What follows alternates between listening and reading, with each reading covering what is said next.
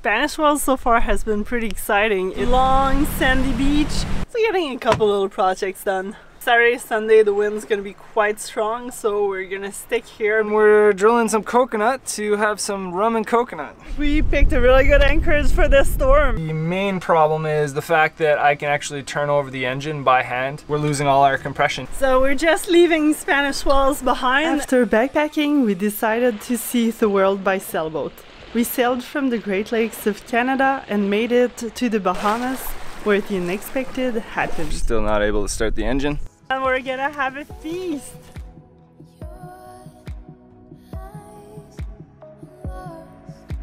We got a dolphin fish! Let's go!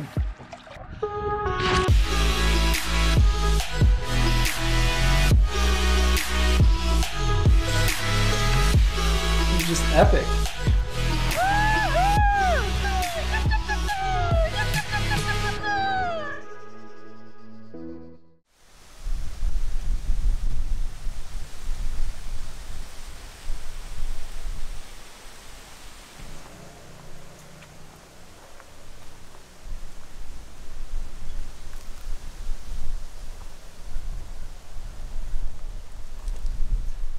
There's so many big coconuts here, but they're so high up and I don't think people would appreciate if I took them.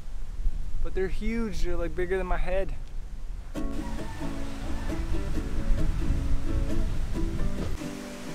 little bit in there.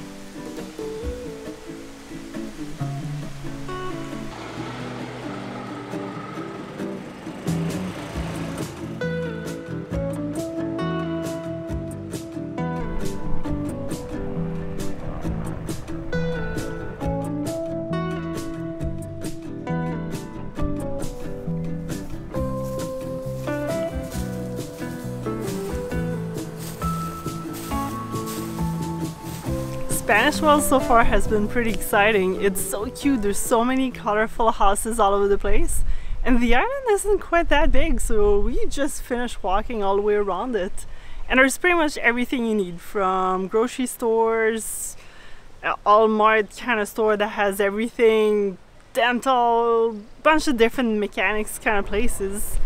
But they don't have any shear pins so that's a bit of a bummer but we'll keep on going with the nail.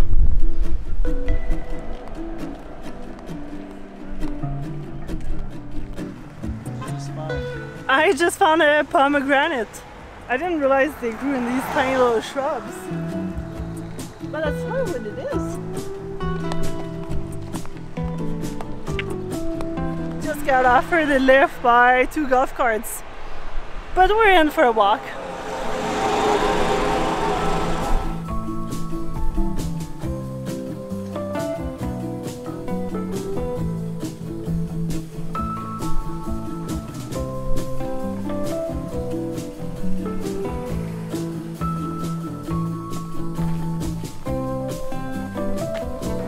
We just came from Jason's shop. He does starter and alternator repair here in Spanish Wells.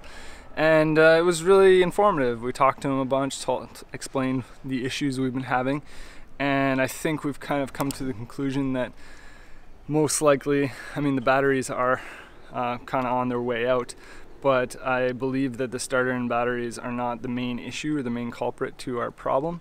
So I think we're going to look more into the mechanical side of the engine and try to figure out what is causing potentially a lot lack of compression or potentially even um, not proper fuel delivery. Maybe our injectors are clogged or something. Um, so we're going to look into that more so before we potentially bring our starter here to have it looked at because he doesn't seem to think that the starter would be the issue since it is cranking from what we can tell around the same speed, maybe a little slower. Um, but on another note, he also gave us a couple resistors uh, for free, which was really nice of him. Not zooming and uh, essentially these are going to add up to around a thousand ohms, which will give us uh, the ability to add a little bit more uh, strength to our compressor because you, if you hook these up on the thermostat side of the fridge, they will give you uh, the fridge will work harder essentially. So it'll work harder for a longer period, uh, for a shorter period of time instead of working putting less amps. So let's say four amps without these uh, comparing to like 9 amps with these and that will make our fridge work for longer or shorter period of time. Um, so when we have a lot of sun, we're hoping to hook these up and have them running through so that we can make use of our charging through our solar. Now let's go grab some food.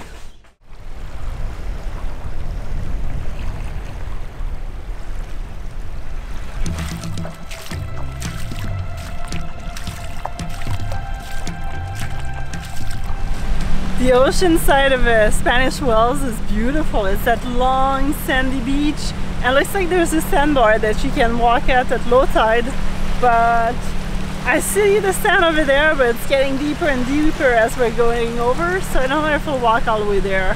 Don't want to get caught at high tide.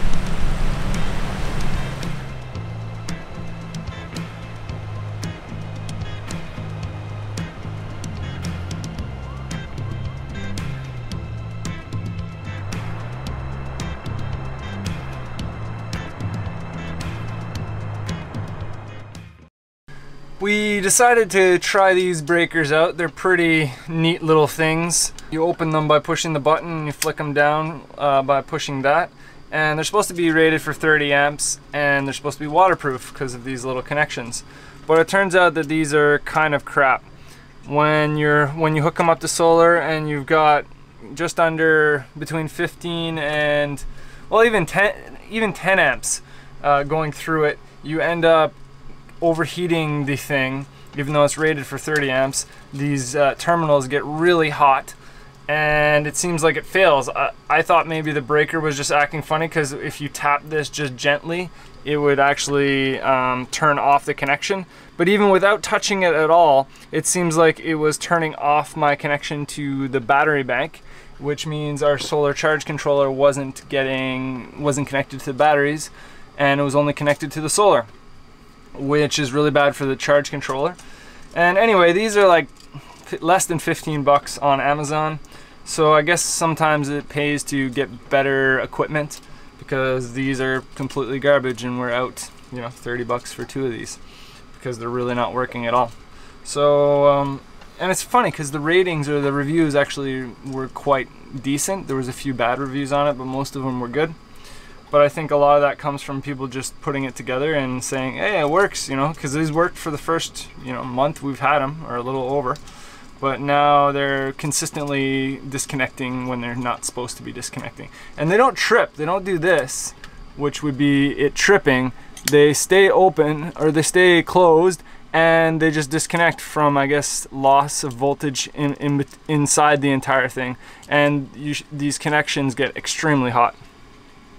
So we're back to our original breaker that we had to do some testing and make sure that this is actually the problem, but I'm almost 100% sure this is the issue. So stay away from these little guys. Yum yum. What do you got there? What'd you make us? I made us some nice breakfast wrap with my own special sriracha garlic cream cheese spread. So good. Spicy garlicky, perfect. It's really hot today. It's like, gosh, it's gonna be close to 30 degrees in the sun. So we're doing some editing, trying to use the sun power and doing some sewing, fixing up Cory's probably 15 year old sandals right now. So getting a couple little projects done. What's the rest of the game plan for today? Well, if we manage to finish the edit, we might go back to Buddha's uh, snack bar grill thing and use their Wi-Fi over there to upload the video. Then probably get two more jugs of water. And I saw a big boat come in, so I've got a feeling there's eggs in town, so I might go back in town. The egg boat came in? The egg boat came in. That's what I think. That's what you're calling it, eh? I think anyways, we'll see. And I washed my hair this morning. It's soft. It's not salty. So how many more days are we hanging out in Spanish Wells? Um, okay, what are we today? Thursday. Thursday. So tomorrow the wind's starting to pick up a little bit and Saturday, Sunday the wind's gonna be quite strong so we're gonna stick here because they'll be coming from the north which we're super protected from, and there's really good holding here. And then I believe Monday is a little windy, so I think Tuesday we'll try to make it on the little cut across North Eleuthera and go to the other side. So a couple more days here.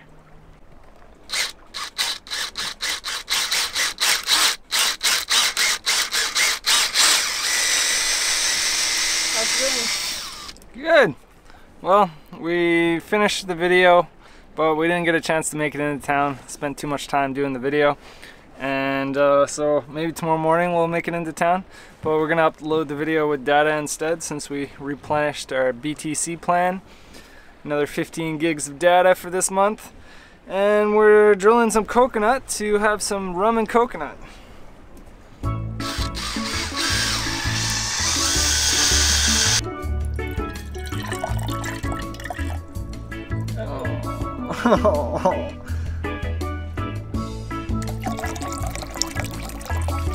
Wow, that's a rum with little coconut water. Cheers. Cheers. Yum yum.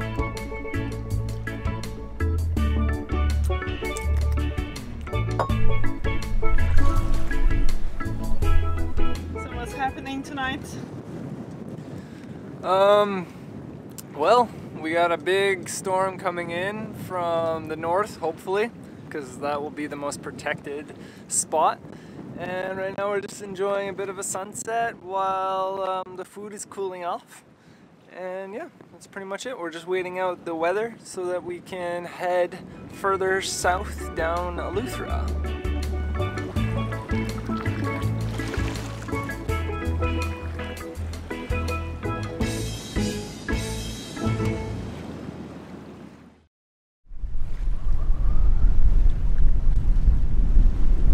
Seems like we picked a really good anchorage for this storm. It's pretty windy, but there's no waves because we're all protected by Spanish Wells and Russell's Island. Yes! Yesterday night was quite uh, uneventful, but we did see tons of, tons, tons of bioluminescence in the water. It was so cool.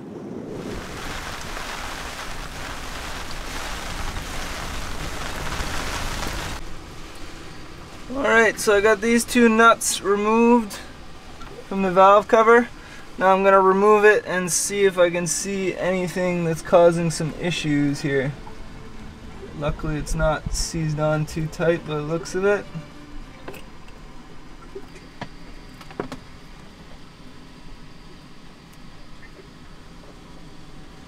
It's a lot of oil.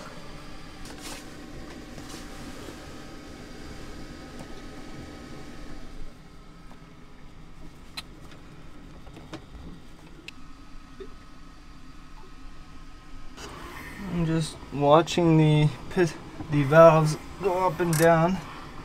Just trying to see if they're doing what I'd expect them to do. Well, we just checked the valve clearances. It was a little tricky to figure out where to put the little feeler gauge. Turns out I was trying to shove it in underneath the little spacer on top of the springs and it's supposed to go on top of that. So it seems like the clearances are actually pretty close. They're not too far off. But the main problem is the fact that I can actually turn over the engine by hand without, essentially without putting the decompression levers on. So I shouldn't be able to turn it with this hand crank with the engine fully compressed. It should be incredibly difficult and it's not right now. So I have a feeling that's we're losing all our compression and you can kind of hear if you listen closely when I turn over the engine on the front cylinder the air escaping somewhere.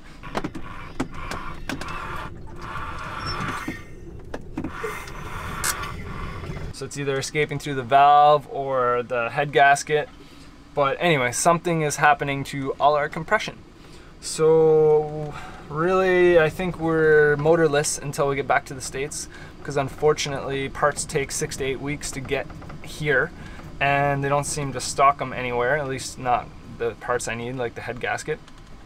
So we're kind of stuck right now. We are going to have to deal without an engine for the time being, like we have been. And uh, hopefully we'll get the parts shipped for when we arrive in the States and get it all dealt with. ideally find a place um, that can remachine our head if we need to do that or get it all um, done professionally because I know I can't remachine the head and if there's anything more serious wrong than just you know um, some carbon or something on the valves I probably can't do it myself anyway so yeah that's the next plan of action for the engine so we're pretty much out of commission with the engine for now well, the storm wasn't that bad after all. It was pretty mellow actually. We had some really strong winds, but we were super protected by the island, so no huge waves, which is super good. And right now I'm just enjoying a lovely sunset.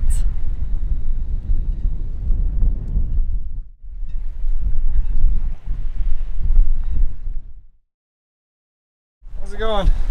Good, that was an intense uh, pulling up anchor.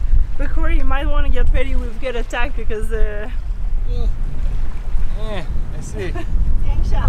So we're just leaving Spanish Wells behind when it's more than 15-20 knots of wind.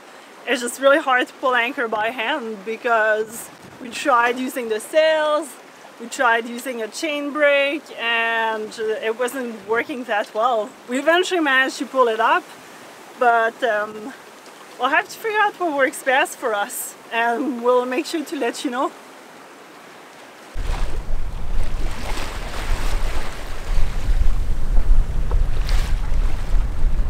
We should have went over to Meek's Patch? Maybe we should have. The wind was really strong from the north, but then it switched to the east overnight. And I mean, it was really, really comfortable night of sleep. But then for pulling anchor, it was really hard, so maybe we should have came here yesterday night and it would have been really easy to just pull anchor from here, protected. The more you know. These boats are smart. So we're just heading over to Current Cut, which is an hour and a half, two hour sail from where we were. And we're going there because that's the section where you can cross Eleuthera and go to the other side and explore some more. And that cut is actually has a lot of currents as it's called.